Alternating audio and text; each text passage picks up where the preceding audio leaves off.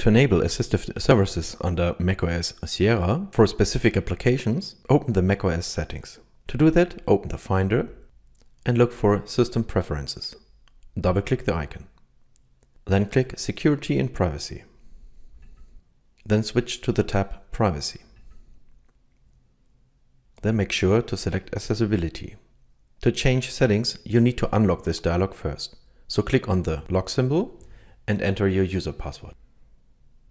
Then you can checkmark the desired applications. Click the lock icon again to apply the changes. That's it. Do you have multiple computers on your desk? If you do, ShareMouse is for you. ShareMouse allows you to share your mouse and keyboard with multiple computers. ShareMouse works with Mac and Windows.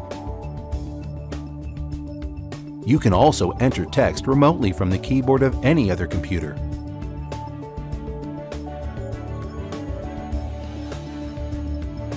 You can even drag and drop multiple files from one computer to another. ShareMouse works in any direction.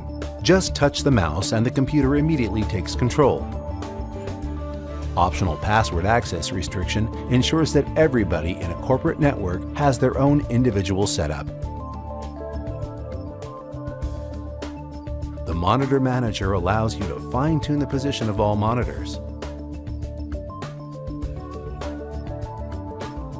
Arrow trails help you to keep track of the mouse cursor.